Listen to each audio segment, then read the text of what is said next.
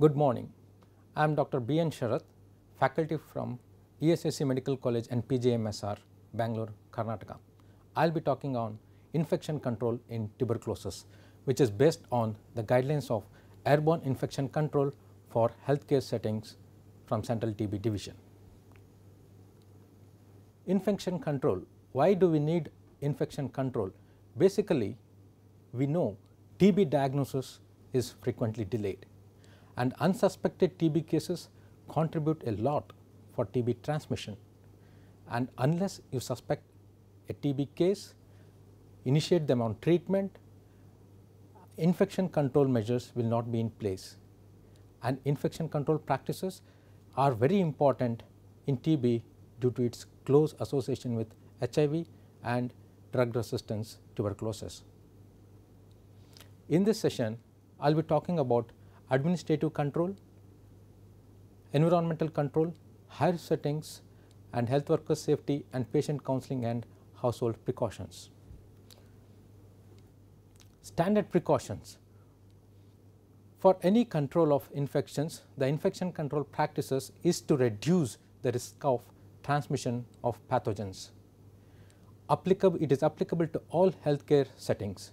It combines the features of universal precautions, body surface isolation and airborne precautions. The elements of standard precautions includes hand hygiene, selection of personal protective equipment especially for the healthcare workers and the patient to reduce the source of infection and educating the patients with respiratory hygiene and cough etiquette, prevention of injury from needles and sharps for the healthcare workers and disposal of infectious material which are accumulated in linen and waste management and cleaning and disinfection of patient care equipment frequently. These are the elements of standard precautions. Hierarchy of infection control, any hierarchy I mean in any infection control the hierarchy is the first one is the administrative control, the second is environment con control and the third is personal protective equipment. In administrative control the aim is to reduce the risk of exposure among the patients and the healthcare workers through proper policy and practice. Environmental controls it helps in reducing the concentration of the infectious bacilli in air in areas where contamination of air is likely to happen. Personal protective equipment for healthcare workers who work in such a contaminated area they are to be protected for that we use personal protective equipment. Coming to administrative controls, the first thing the administrative in the, admi the measure of admi in uh, administrative control is to identify the person with respiratory symptoms, separate them into appropriate environment, fast track them through the healthcare facility to reduce exposure time to others, diagnose and treat them with minimal delay hospitalization should be reduced or avoided to the greatest extent possible for these kind of patients. Administrative control strategies for healthcare facilities. We have two, two strategies, one is for outpatient settings, the other is for inpatient settings. In outpatient settings, the first thing what we do is screen respiratory symptoms as early as possible, provide education on cough hygiene and sputum disposal at the place where the patient is there. Segregate patients with respiratory symptoms as soon as possible and try to fast track these patients with respiratory symptoms for early diagnosis. Coming to the inpatient settings, minimize hospitalization as far as possible and establish separate rooms or wards or area within wards for this highly infectious infectious uh, diseases. Educate the patient in wards on cough hygiene and provide adequate sputum disposal facilities for the patients. Establish safe radiology procedures and coming to the environmental controls, one important thing or one basic thing what we all need to know is the natural ventilation. Effective ventilation may be achieved by natural ventilation wherever possible. In high risk settings, with no optimal ventilation, a complementary controlled through properly designed, placed and maintained shielded UV germicidal irradiation devices can be used. And the recommendations for this uh, environmental controls are in healthcare facility there should be a minimum standard for air exchange. High, in high risk settings prioritized for immediate assessment and implementation of improved ventilation at the places wherever there are high risk settings the uh, area should be evaluated, assessed and proper ventilation has to be in place. Natural ventilation it is the preferred method for ensuring adequate air exchange. Ensure effective ventilation at all times and in all climatic conditions. In the absence of natural ventilation, what we can do is we should have a well designed, maintained and operated mechanical ventilation in place or in high risk settings where it is not possible try to use the upper rooms or try to use shielded UV germicidal irradiation devices. One important uh, aspect which can be easily done is optimal arrangement of patients and staff in all outpatient departments, directly observed treatment centers, microscopy centers and radiology departments.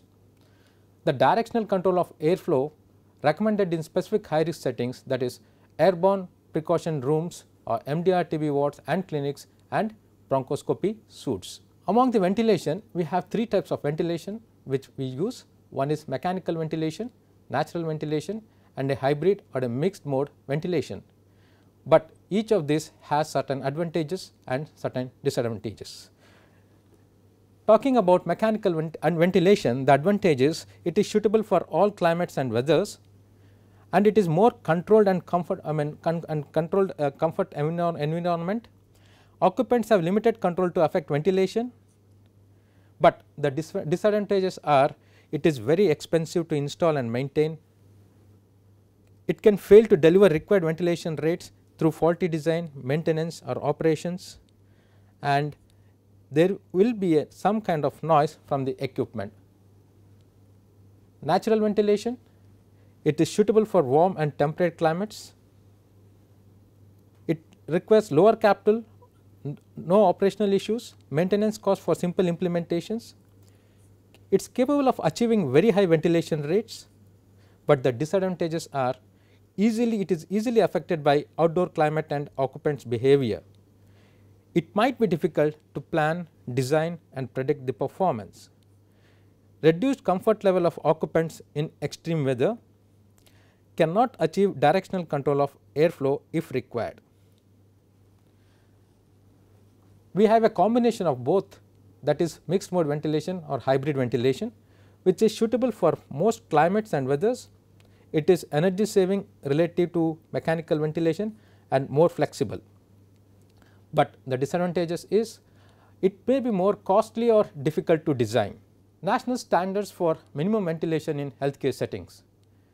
Any healthcare setting should maintain a minimum amount of ventilation during all climatic conditions. The minimum ventilation rate estimated to reduce the probability of infection in an enclosed room to less than 5 percent with an hour of exposure to an infectious source case. Mechanical ventilation, we usually use fans to drive the airflow through a building and these fans can be fully controlled and combined with air conditioning and filtration systems. As I said earlier, it includes mixed mode ventilation, exhaust and or supply fans used in combination with natural ventilation.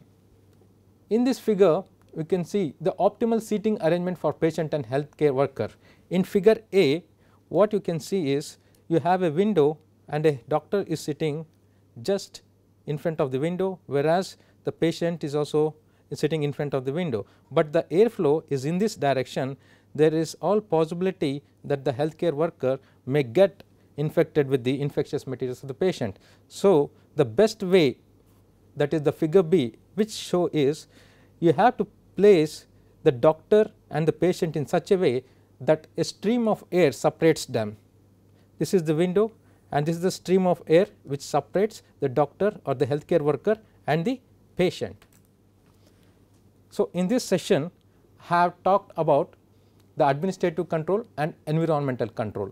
In this session I talked about the administrative control measures and the environmental control measures that are key for control of infection control in healthcare settings. I will be ending this session now. In the next session I will be talking about infection control in high risk settings, households and uh, for healthcare workers.